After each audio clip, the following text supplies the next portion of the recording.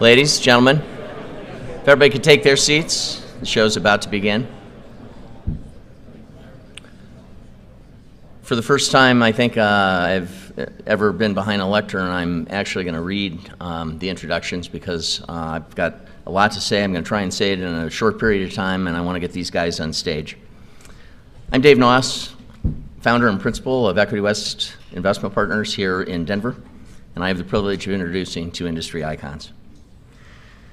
They've taken time out from their extraordinarily busy schedules to attend the CU Real Estate Center's 17th annual forum. Jeff and Sam, thank you for accepting our invitation. I think I can speak for the center and all of its members in saying that we are very proud to have you here and could not be more grateful for your participation. I'm equally grateful for the honor to introduce each of you. Jeff DeBoer is the founding president and CEO of the Real Estate Roundtable. The Real Estate Roundtable brings leaders of the nation's top 150 publicly held and privately owned real estate owners whose real estate holdings approach nearly 2 trillion. That's a, that's a lot of capital. And development, lending, and management firms together with the leaders of national real estate trade associations to jointly address key national policy issues in our nation's capital. Under Jeff's leadership, the Roundtable seeks to ensure a cohesive industry voice is heard by government officials and the public about real estate and its important role in both the national and global economy. Jeff also serves as chairman of the National Real Estate Organizations and on the important matters relating, which are important to all of us, building security, terrorist threats, and incident reporting. Jeff serves as chairman of the Real Estate Information Sharing and Analysis Center. Jeff has been a guest on Fox News, Bloomberg, Television, and CNBC. His editorials have been published in the Wall Street Journal and USA Today. He has a degree from law degree from Washington Lee University. Jeff, thank you for joining us. Since I worked for Sam Zell for nearly 14 years, Sherm's given me just a little extra time to introduce him. I hope to provide some non-public insight into a very public persona that Sam is. But before I tell you some things that you don't know about Sam, let me extol his virtues by telling you some of the things that you may already know about him. Sam founded and is the chairman of Equity Group Investments, for which the last 40 years he's in, had invested interests not just in the United States, but all over the world, and not just real estate, but many industries. He's also the founder and chairman of Equity International, a private investment firm focused on real estate related businesses in emerging markets, which include having taken public the largest home builder in Mexico and the largest retail property owner in Brazil. He's the chairman of four other uh, public New York Stock Exchange traded uh, companies, including Equity Residential, the largest apartment real estate investment trust in the United States. Sam is recognized as the founding father of today's public real estate industry, and you can surely see why. Among Sam's additional activities, far too many to list here, is his clearly demonstrated commitment to education, which I thought, given this uni- university sponsored event, uh, that the audience might have an interest in. And uh, to make you aware, Sam graduated not from CU, but with both an undergraduate and a law degree from the University of Michigan, and has demonstrated his loyalty to his alma mater by serving on the President's Advisory Board and by establishing the Zell Lurie Entrepreneurial Center at the University of Michigan's Business School. Sam's also endowed the Zell Lurie Real Estate Center at the University of Pennsylvania's Wharton School and also endowed Northwestern University Center for Risk Management. And I assume that was of interest to you. I am certain it must be of interest to CU's foundation, if you're following my drift. I wish I had time to tell you a longer story about Sam's history, but let me say that if I had to guess, knowing Sam as I do, he got his heart from his mother, Rochelle.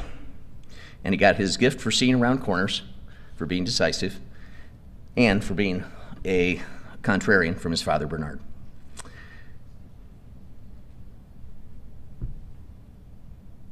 Um, despite Sam's father beseeching all extended family members to emigrate with uh, Sam, with Bernard, uh, his father, and his mother, and his sister Julie, Sam's sister, um, in 1939, uh, at his father's insistence, they were the only family members to leave Poland 13 hours before the Germans bombed the railways that prevented any further exits. The rest of the family, extended family, was never heard from again. I'd say that that was pretty decisive decision making and uh, one that I might say was also uh, well timed. Sam has a history of following suit. Then, in true Zell fashion, Bernard took the family, not like other countrymen who perished, west, but east safely through Lithuania, Russia, and Japan. And then Sam was in the womb. Sam Zell built the largest real estate company in the country, Equity Office Properties, which he sold with prescient timing to the Blackstone Group in 2007 for $39 billion. When I joined the company, we had 4 million square feet and 13 employees. The company grew into the largest cap real estate stock in the New York Stock Exchange, owned 120 million square feet of office space, and had 3,200 employees. Sam created culture that facilitated that type of growth. He made it fun. He was always encouraging you to test your limits. His door was literally never closed. It was always open, and it is to this day. You could be irreverent with your compatriots, but not disrespectful. A thoughtful risk taker, but not disobedient. You listened, you learned. You couldn't be self righteous. Sam didn't care whether you were right, he cared if you knew what you didn't know. If you thought you had all the answers, all you had to do was visit with Sam.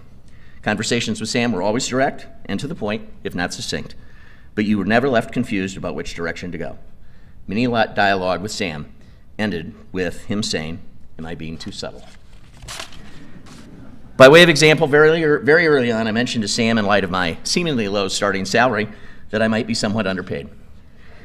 Very casually and without hesitation, Sam said, Well, David, let me explain it to you this way. You get to wear blue jeans to the office, you're surrounded by a bunch of smart people, and you get access to me. How do you feel now? I said, Sam, I think I might be slightly overcompensated. I have one other story to tell you of local interest, which will make Sam cringe a bit, but I'm going to tell it anyway. We'd acquired Mickey Miller's office portfolio here in Denver, and Sam had invited Mickey and um, Jimmy and those close to the transaction to his home in downtown Denver. He had to excuse himself um, as the host after dinner uh, and fly, as I remember, to Miami for a, a breakfast morning meeting, and he encouraged his guests to linger, which we did. As we left, I turned a curvilinear wall uh, prematurely and if you can believe it, knocked off a box of art that his wife Helen had given him under the floor. I was, of course, and by the way, uh, it was not in terrific shape. I was, of course, aghast, so I called his longtime assistant Joey the next morning, and I said, I need to talk to Sam. She got Sam on the phone, and I can literally remember every dialogue of that conversation, or every, every piece of that dialogue to this day. Good morning, David, as Sam would always start every conversation. And notice who initiated it. It was Sam. Good morning, Sam. Sam, I am so terribly sorry. I knocked a piece of art off the wall last night. It's the one that Helen gave you. I'm aware of that. well, Sam, I, I just, you know, I don't know what to do. I just feel so terrible. Can I call Helen to apologize? That would only compound the problem, said Sam. okay? Well, Sam, you know, I, I mean, I, I, I, don't know what to tell you. You know, I mean, I, I feel awful. What would you like me to do? I'd like you to be more careful the next time you come to dinner at my home. well, thank you, Sam. You're welcome, David. Goodbye, David. Goodbye, Sam. It's almost literal, I think, to this day. Um, the, I can tell you the conversation with the art insurer from the Chicago Art Museum later that afternoon was a lot less user friendly.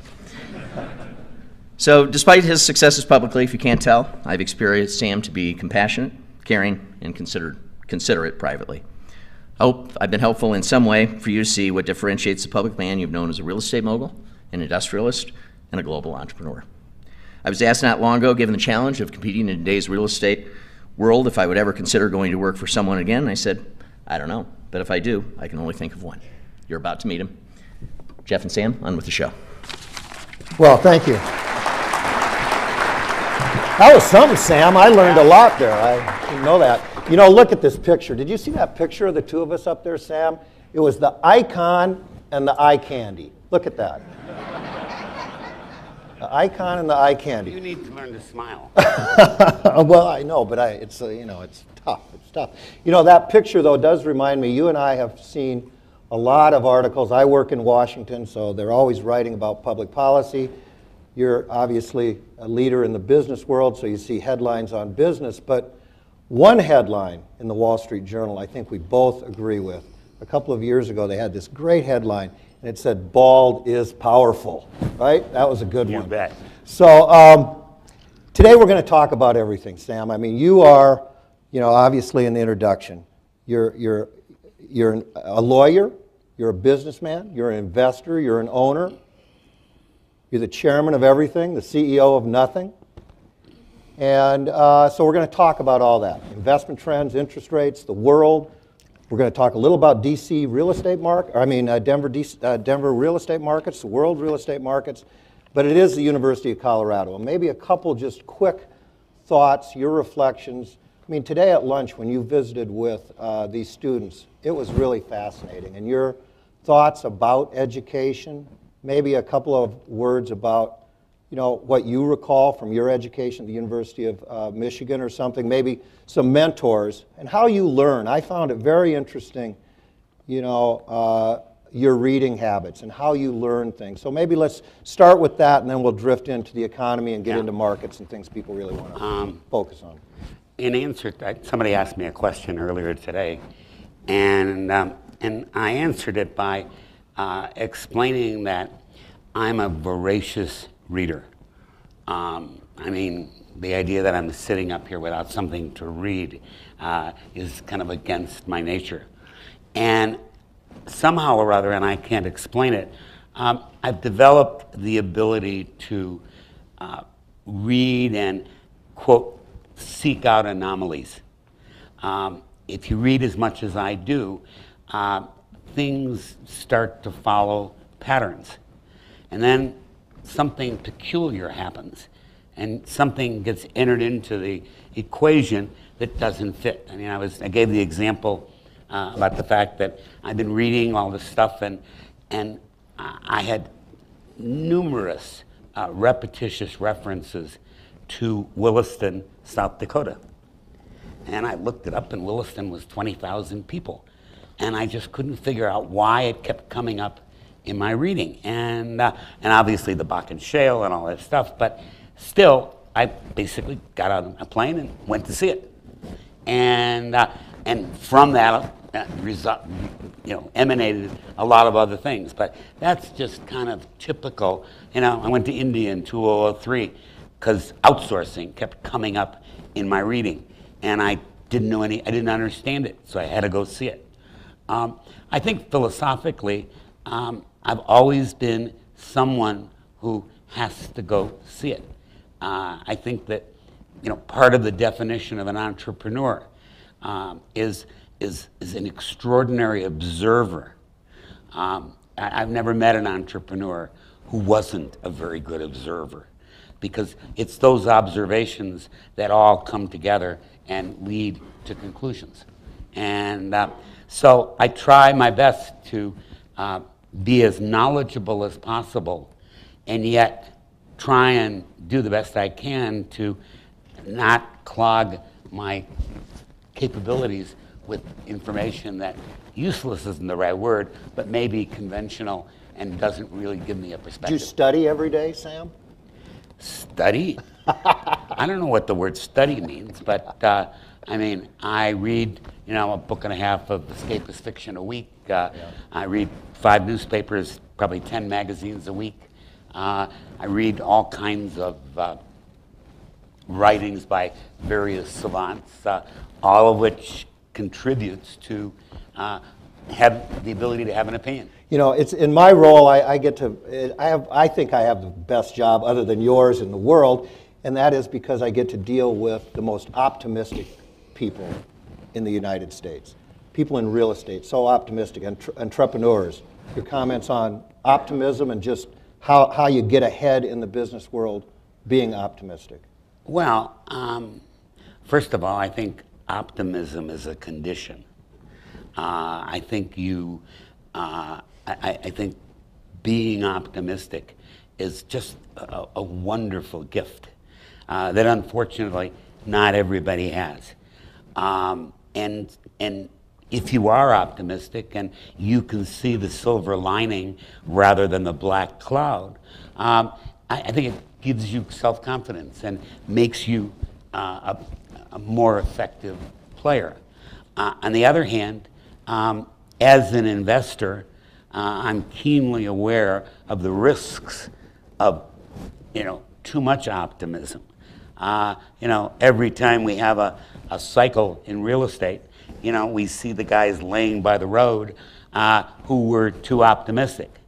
Uh, I tend to think that they weren't so much too optimistic as they didn't quantify the downside. I think that from my perspective, I start every potential investment focused on what's the downside. And frankly, from my opinion, from my perspective, if we do a deal and we identify the downside and we're correct, then I view that as a successful endeavor, even if the transaction didn't work. Uh, you got to remember that they pay guys $25 million a year to get a hit one out of three times. Uh, I would be broke if I were successful only one out of three times. On the other hand, uh, you know, you fire the bank loan officer who never has a loss because that means he isn't taking risk. So I think our perspective is to be right 70 or 75% of the time. But of greater importance is to understand the degree to which we were wrong in the other 30 and build that into uh, the way we think and the way we take risk. So you take risk. you know you're not going to hit a 1,000, but you're going to, you're going to take the risk and, and see where it goes. I testified last, uh, about 10 days ago before Congress on some issues, and one of, one of the uh, senators asked me a question about what, how do, how do people in the real estate view the economy today? What are they, uh, what are they concerned about? What are their number one headwinds? What are, what are people concerned about?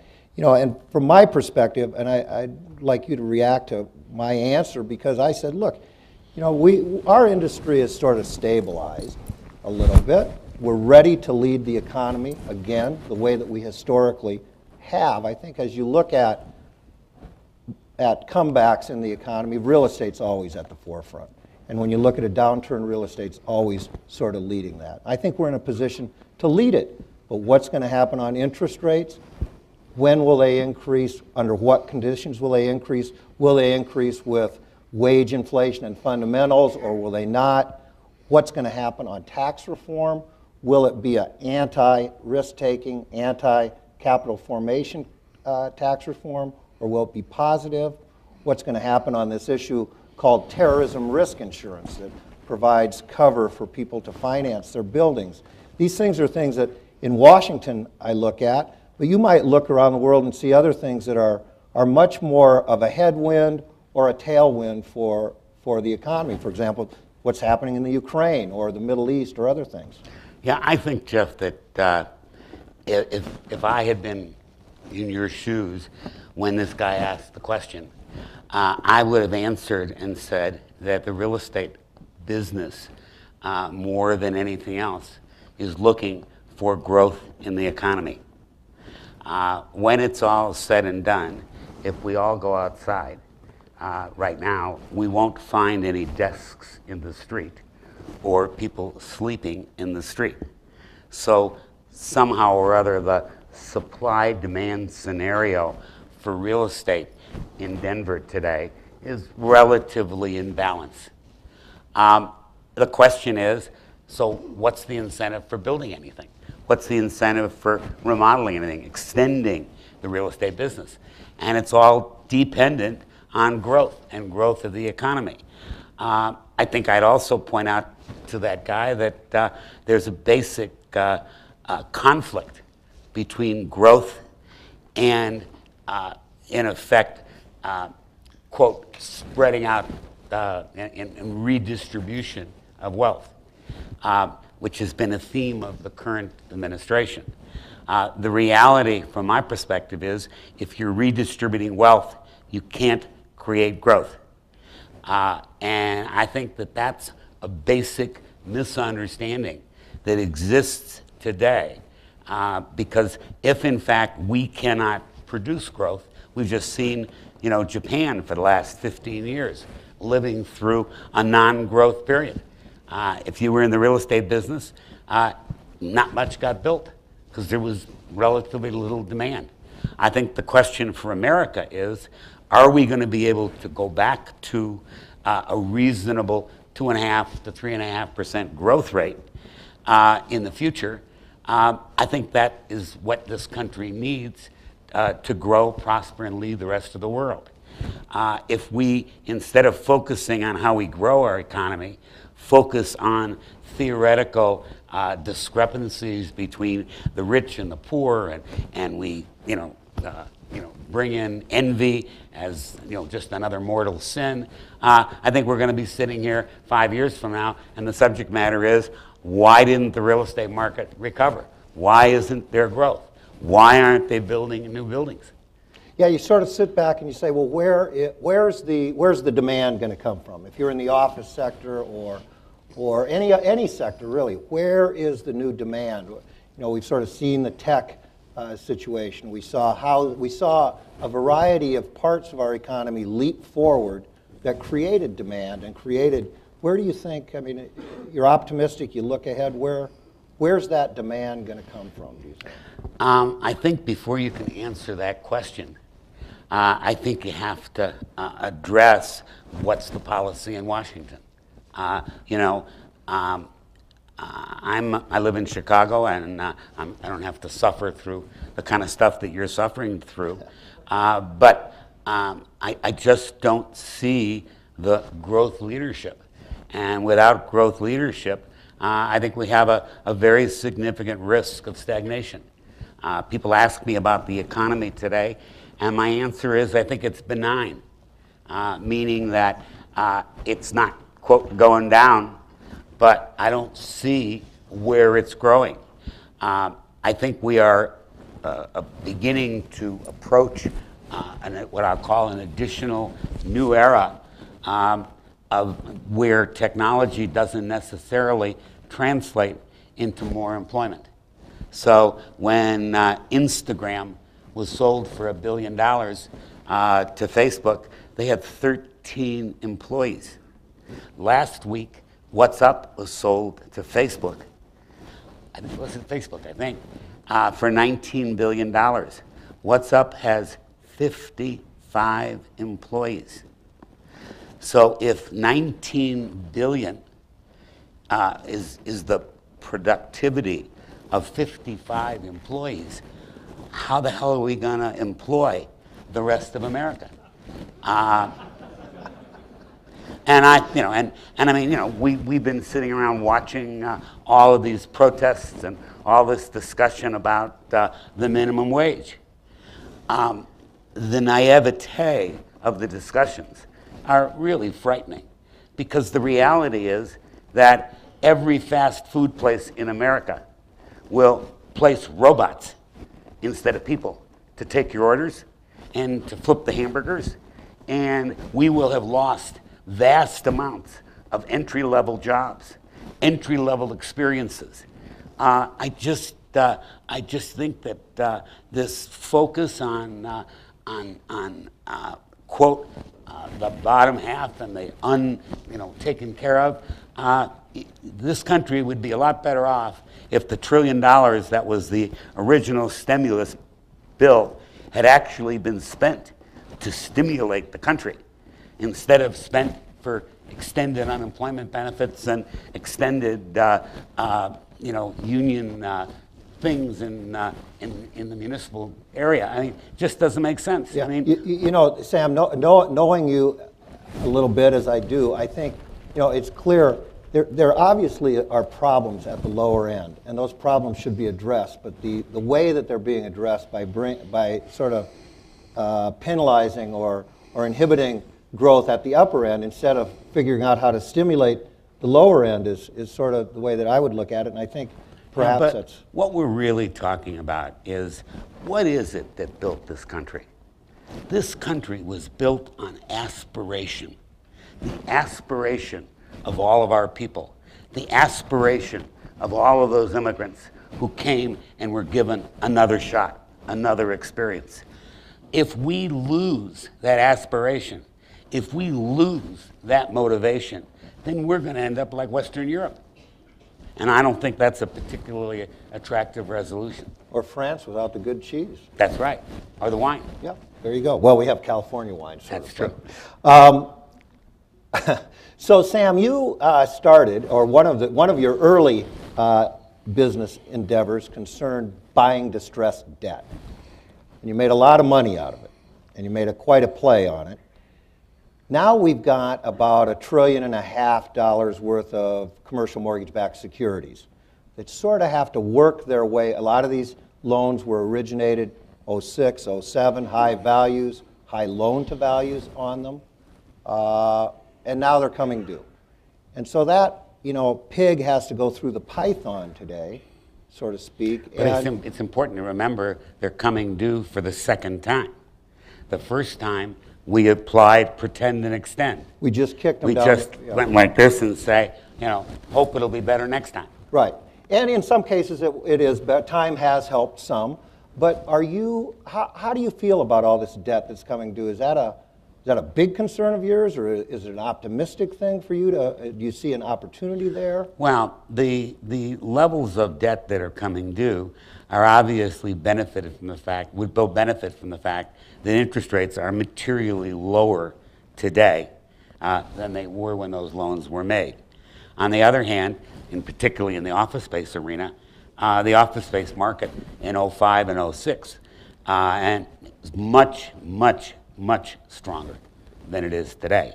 And so, despite the fact that we've had some recovery, we've had recovery in, in multifamily housing, we've had re- some recovery in single family, uh, we've had relatively little recovery in the office space market. And it connects to the fact that um, we're using our space differently.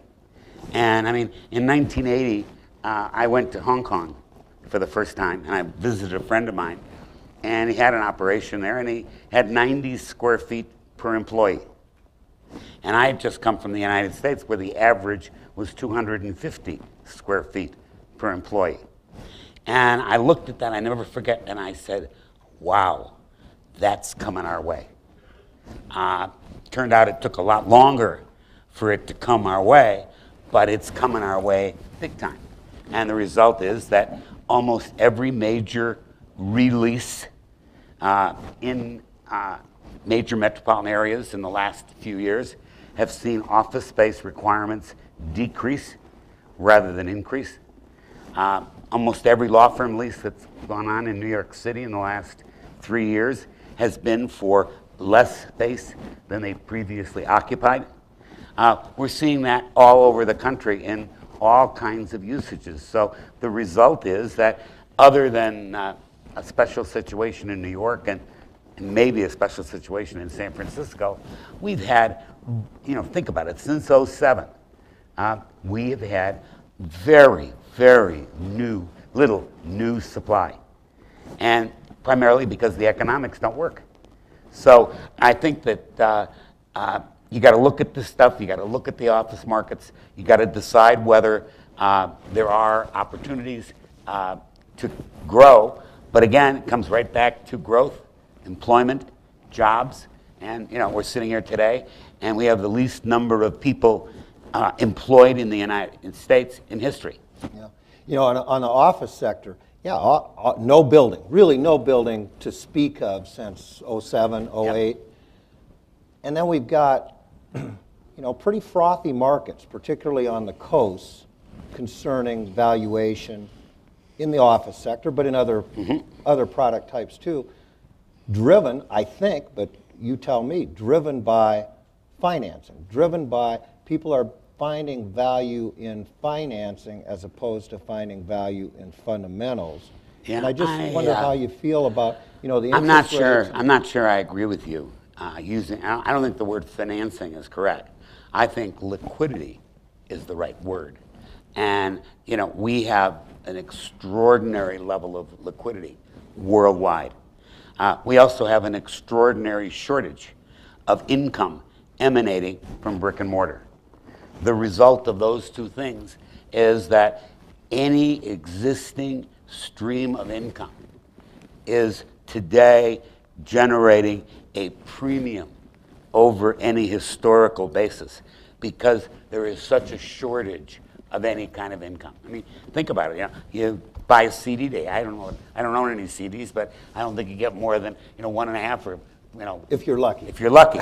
So, uh, you know, we used to say, gee, if you're going to build and buy an office building, you ought to get a, I don't know, eight percent return.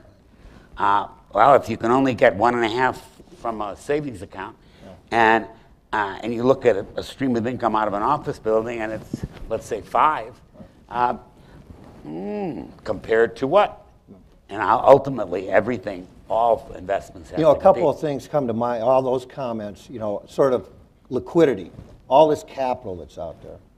And yet, in Washington, one of the things that I've been trying to do concerns reducing the barrier that the United States has erected regarding foreign capital coming into U.S. real estate equities. And we've been arguing for some time that this should be changed for a variety of reasons. We think it's unfair vis-à-vis other industries. You know, the pharmaceutical industry is owned about 20% by foreign uh, owners. Uh, Cars, the auto industry, 15%, manufacturing, about 30%. U.S. real estate, about 2%. And there's some other reasons, so we've been working to bring that barrier down. But then, you know, you've got people that say, why, Jeff, why are you working on that? Because we have plenty of equity in the U.S. real estate markets. What- Until you your- don't. Until you don't. Until you don't. It works until it doesn't. That's correct. And uh, I just think that uh, uh, your 2% number may be right, although I would think that the impact of foreign capital in the U.S. real estate market is significantly greater than 2%. Certainly in, And- in New and- York and residential, it's Wow, but unbelievable. New York, San Francisco, Los Angeles, Right. Dallas, Houston, uh, Miami. I mean, there's just an enormous no- amount of foreign capital in real estate. I think your 2% number is probably much more related to the public format and not so in the private sector. But, you know, liquidity is value. And ultimately, you have no value if you have no liquidity. And you have value if you have liquidity. And, uh, you know, there have been various times in my career where I've been through numerous cycles. And probably the one that reminded me the most was in 1992, where Forbes said I had a net worth of about a billion five, and I was worried about whether I was going to be able to make payroll on Friday. Uh, the answer was I had all these wonderful assets and they were worth a lot of money, except they weren't relevant if I didn't have liquidity. And so when it's all said and done, that's always been a standard of everything is, is liquidity equals value. And uh, the U.S. Uh, represents uh, an opportunity for people from all over the world uh, to seek safety. Uh, their desire to do that is much more today than it was 10 years ago. And I think it's likely to be more so uh, as the United States uh, moves forward and as we move forward. You've always, I think, and you've said this publicly, uh, go left when other people go right, find opportunities when other people see barriers or risks. You know, you early on talked about liquefying real estate, putting it into a public format in the 90s. Later in the 90s, sort of globally, taking real estate and, and liquefying it globally. And, and, and uh, so looking forward, so let's say 10 years from now, what, uh, what's the real estate industry look like? You know, it's hard to look in a crystal ball Yeah. and, uh, you know, In 1990 um, or 1992, the public real estate market in the United States was $7 billion. Um, today, the public real estate market is $700 billion. Um, if I were to, you know, ask to make a guess, I would guess that uh, 10 years from now, uh, that number would likely to be a billion five. I mean, would, would, likely to be a trillion five or two trillion, um, as more and more real estate becomes equitized and becomes part of the public markets. Uh, I see the same kind of thing happening uh, worldwide. I mean, in 1997, after we finished doing, uh, creating the modern REIT era in the United States, we then turned around and uh, said, you know, the, the emerging markets have to learn how to equitize real estate because too much of their future is buried in, in, in illiquid assets, particularly land. And uh, so we, in effect, started creating public vehicles outside of the United States in emerging markets. And, uh, and you just have to understand the, the benefit these companies, these countries get when you take a, a billion dollars of illiquid land and turn it into a billion dollars of securities or, or liquid assets uh, that dramatically help the growth of the country. So uh, I think that's a theme uh, that has always been the case. I think we proved it in the early 90s. The continued growth suggests that we're going to continue to see more and more equitization. And, and, they, and almost by definition, the more equitization, the more liquidity. So, so that's a segue into, so what's your investment philosophy today in the U.S. regarding real estate and internationally regarding the emerging markets? We've got Yeah. the U- EU still struggling with their debt uh, situation. We have Japan sort of hanging on. You know, you were active, very active in Brazil and, Yep. and, and other parts of, uh, of Latin America. What, what's, what, what's Sam Zell going to do Yeah. now? I think that uh, the U.S. market, um, I think I described it recently as benign. Uh, we're missing the animal instincts. We're missing the, uh, you know, super motivation. Maybe we're missing the overly optimistic developers.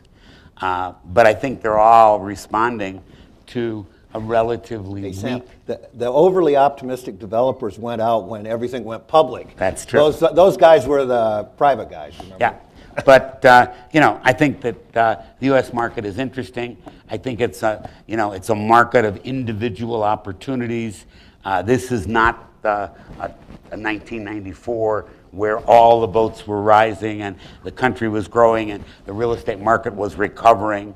Uh, I think this is much more a sharpshooter environment, uh, picking the spots uh, where, in effect, there are reasons for demand.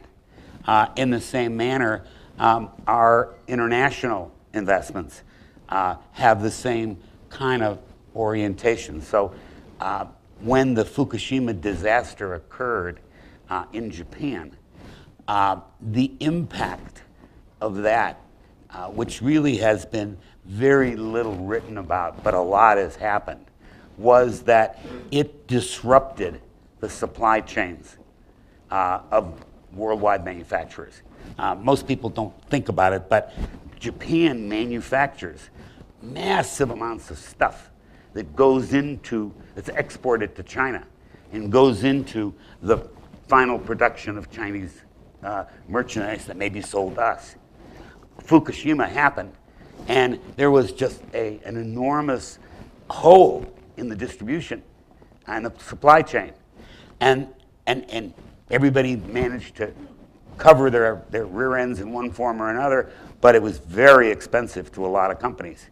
The result of which has been that almost every company uh, that, is been, that was totally manufacturing in the Far East and particularly China um, have been working on secondary sourcing, uh, something that they kind of forgot about and were comfortable to totally rely on China, and not anymore.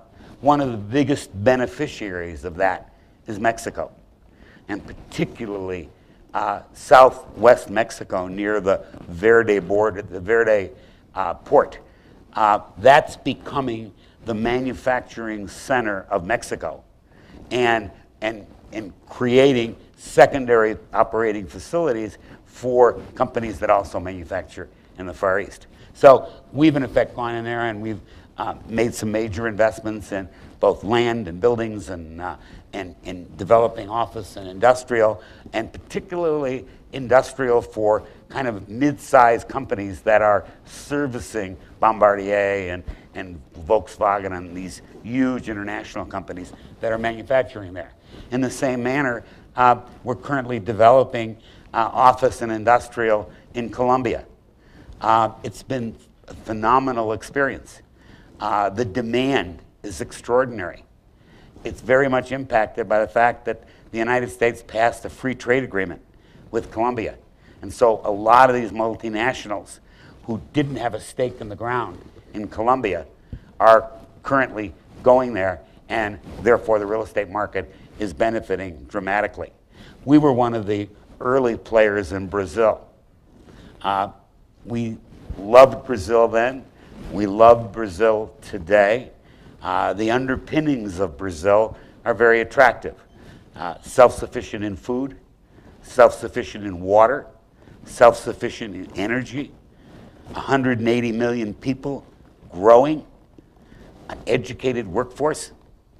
Uh, so it has enormous, uh, I think, future.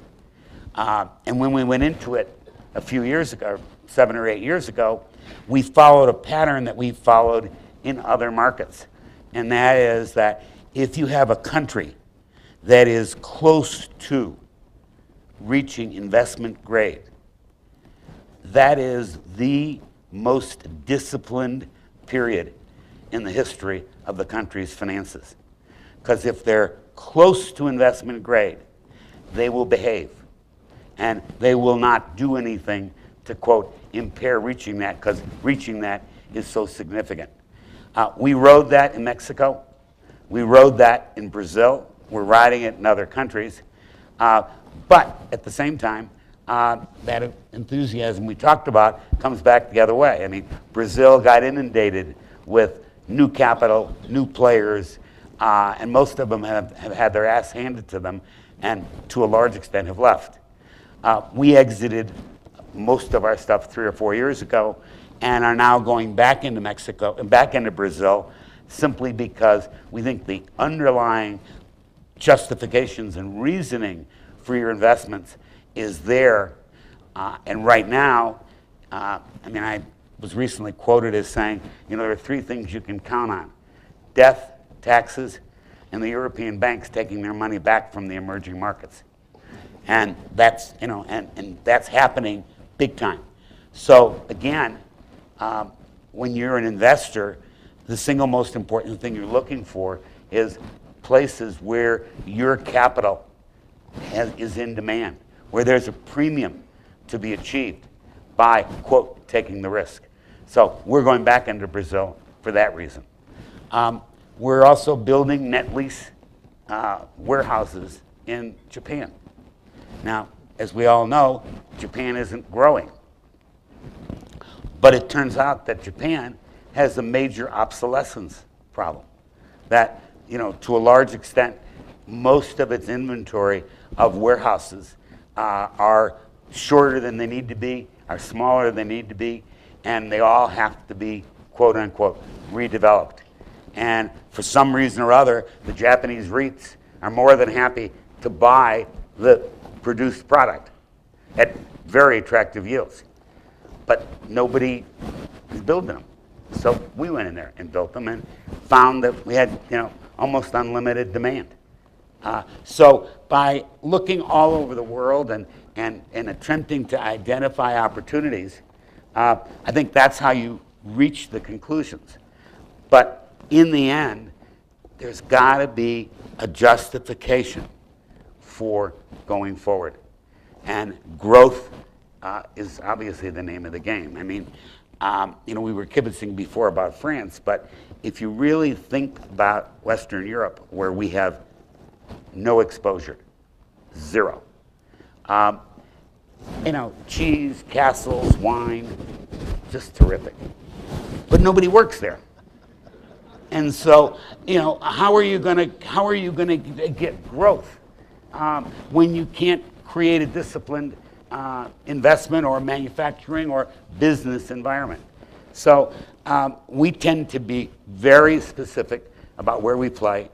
Uh, I also think that another critical piece of the equation is scale. Uh, you might be able to be the biggest uh, owner of office space in Uruguay, but that may be two buildings. And uh, you know, that doesn't get you anything. So it's very important when, you're, when, when making these investments. The first question we ask before we go in, into any country is it big enough to be able to create scale, which ultimately translates into creating exit.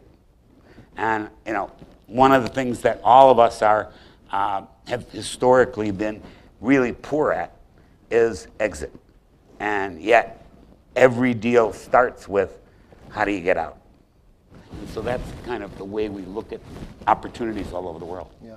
You know, when I'm out uh, speaking to groups, one of the things that I try to emphasize is if, if you're in business, particularly real estate, but in any kind of business, and you're not paying attention to what's going on in Washington, good and bad, but if you're not paying attention to what's going on, you're really not in business because there's so many things that, that can affect things. You talked about liquidity, Sam, and how important that is. And last night when we were talking about the, you know, there's a new tax reform proposal out from the chairman of the Ways and Means Committee, Republican of the Ways and Means Committee, and I started reviewing some of the items in it for Sam, and his jaw got closer and closer to the desk because we talked about things like capital gains taxes uh, going up, the tax on depreciation recapture on buildings going up, uh, depreciation periods in general for all real estate, you know, multifamily, leasehold improvements, office buildings, uh, shopping malls, what have you, going up longer than it is today. Even though buildings are deteriorating, But well, Jeff, it's, it's, all you're describing is focus on redistribution as opposed to focus on growth. Yeah. I And- mean, and- they- and- these are the kind of policies uh, that, if you implement them, levels the playing field and also eliminates the playing field. But your jaw really hit the table when I said like-kind exchanges Yep. could be eliminated. And you talk about liquidity for real estate, right? So you take away the ability to trade property, you, you jack up the capital gains tax on it, you increase the amount of tax paid on depreciation recapture on sale, you lengthen the- the depreciation on new development. Liquidity really gets tighter in our industry. And I just think that, again, you know, you're, you're smart to watch Washington. I know you don't agree with much of what goes on there. We'll leave that for maybe later or. or- or Some other or- time. But, but, but there's a lot going on. And, and I just want to make sure that people in the audience are aware of this. And what Sam talked about is a, is a, is a directional shifting that's going on.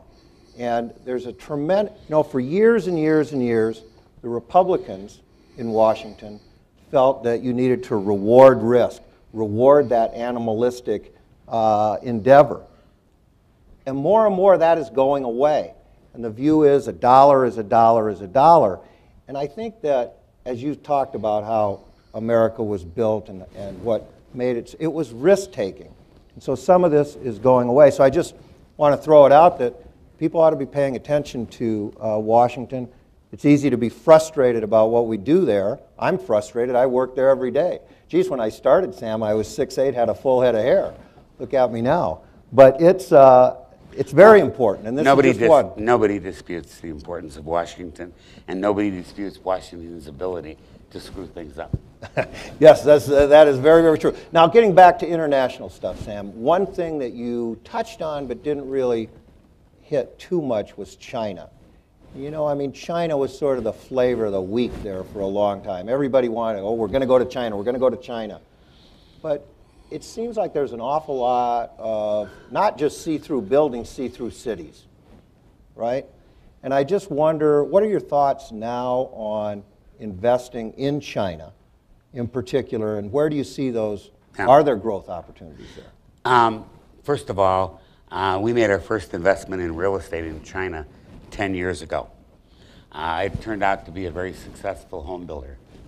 Um, the beauty of the scenario was we put up money, the local guy listened, and we both prospered. And the reason why the local guy listened is because there was no other source of capital. Uh, today, the amount of capital available in China uh, for real estate is pretty unlimited. Uh, you know, a U.S. guy coming in with, uh, you know, $50 million or something, you know, makes you, you know, makes you nothing special. And when you invest anywhere where, quote, the value of your commitment isn't as valuable as in other places, uh, I don't think you get decent results. And our experience subsequent is that uh, we think the Chinese market has more than enough capital.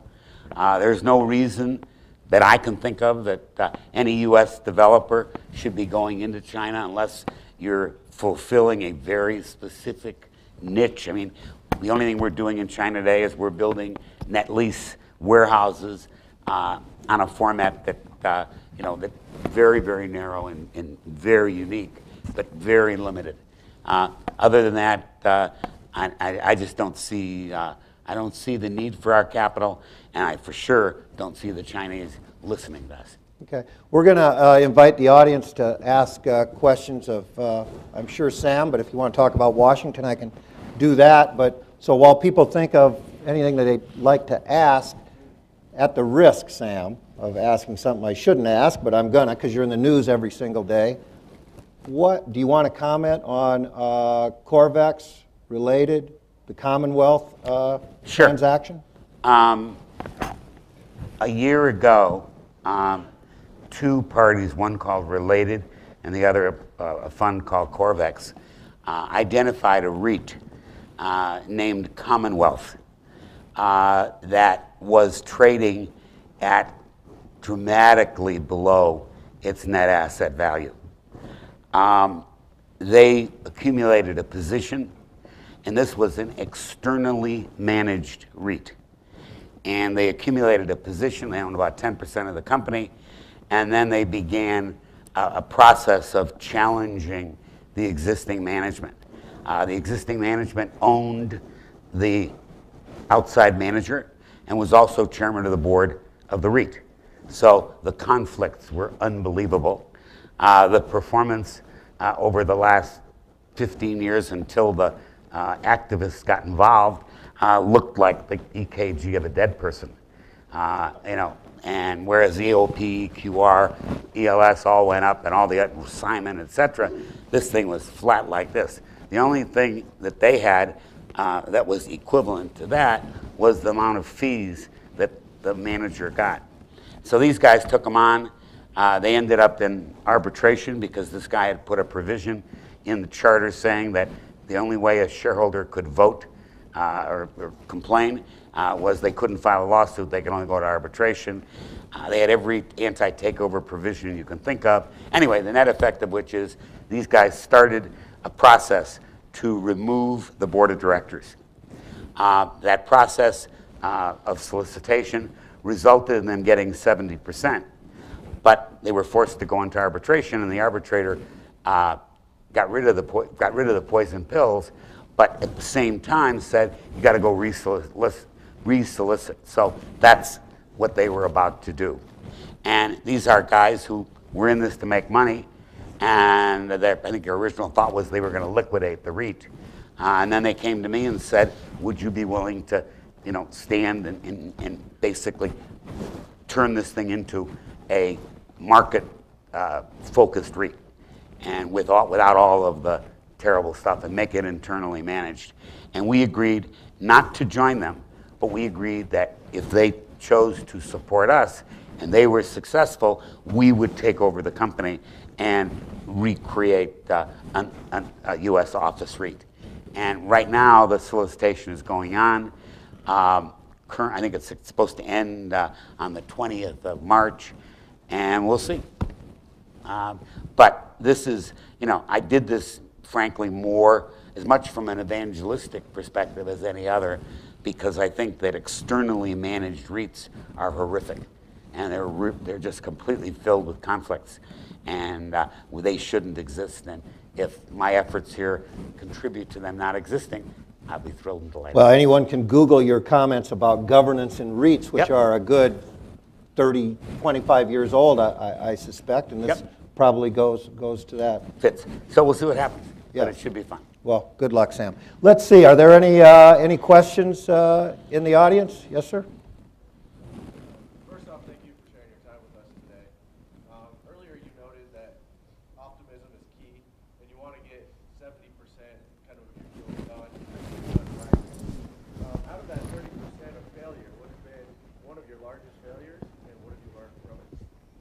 What was my largest failure and what was my what did you what, what did you learn from that? You know, um, I don't know how many transactions I've done in my lifetime, uh, but I've certainly had both, you know, my share of successes and my share of failures. Um, in 1993, I bought control of a department store company in uh, California called Carter Hawley Hale. Uh, before we closed the deal, I had my people do a complete analysis of the company, and they came back and said the company, as a fire sale liquidation, is worth 50 million less than you're paying.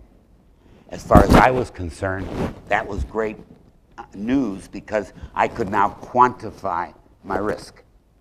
Three years later, and lots of terrible things happening, and we almost went under, and we sold the business at the last minute to Federated Department Stores for 50 million less uh, than we paid for it. So the answer is we quantified the risk, we understood the risk, and we went forward. Um, even though I lost $50 million on that transaction, I consider that transaction a very big success.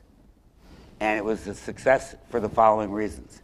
Number one, I took a risk and I understood the risk and I quantified it correctly. Number two, um, yes, it didn't work, but unless you're willing to take risk, you can't have any winners. So, from my perspective, understanding where I'm at and what my optionality is, uh, and if I if that understanding is correct, that's that works. I mean, I did the Tribune Company, I lost three hundred million dollars. If it had worked, I would have made 5 billion. I liked that risk reward ratio. Would I do it again? Yes, because the, the risk reward ratio was appropriate. Is 300 million a, a reasonable amount to put at risk if the win is worth 5 billion? In my world, it is. So I don't know whether I hit exactly the, the, the focus of your question, but generally speaking, um, it, you know, it, it, you know, we, we've been very successful in a lot of things. Uh, you know, we sold equity office for $39 billion. I made more than a billion dollars myself. Uh, you know, that's, that's, that was a great transaction. So was Carter Hawley Hale. So was the Tribune. So I think the integrity of what you do, the focus of what you do, the degree to which you understand the risk you're taking is what it's all about. Sam's got a great line, by the way. A bank executive who has a loan officer who's never had a loss should be fired. Absolutely.